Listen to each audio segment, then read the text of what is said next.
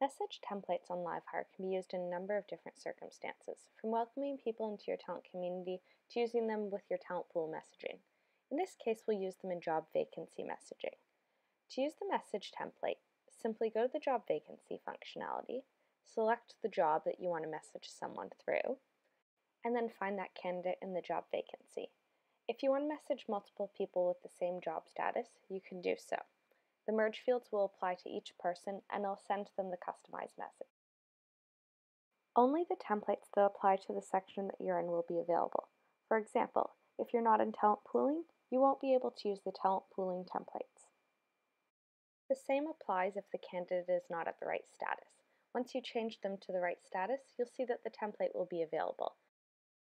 When you apply a template to a single candidate, you'll notice that the merge field will automatically update with the person's first name and role title if those are the merge fields that you added.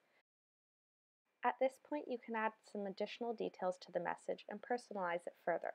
We highly recommend this because message templates aren't about creating bulk messaging, they're about creating personalized messages but doing so in a more productive manner.